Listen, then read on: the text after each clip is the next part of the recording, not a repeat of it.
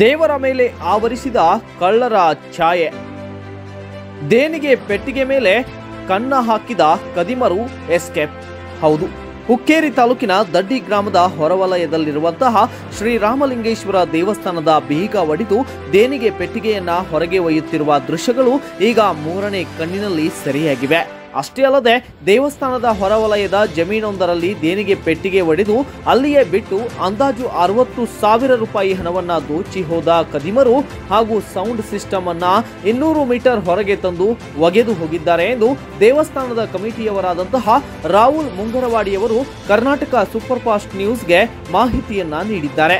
ಇನ್ನು ಇದಕ್ಕೆ ಸಂಬಂಧಪಟ್ಟಂತೆ ಸ್ಥಳಕ್ಕೆ ಆಗಮಿಸಿದ ಯಮಕನಮರಡಿಯ ಪೊಲೀಸ್ ಠಾಣೆಯ ಸಿಬ್ಬಂದಿಗಳು ಬಂದು ಪರಿಶೀಲನೆಯನ್ನ ಕೈಗೊಂಡು ಪ್ರಕರಣವನ್ನ ದಾಖಲಿಸಿಕೊಂಡಿದ್ದಾರೆ.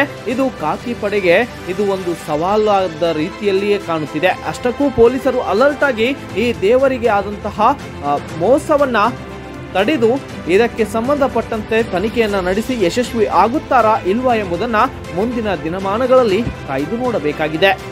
Bureau report Karnataka super fast news Kallappa Pamanayak Daddi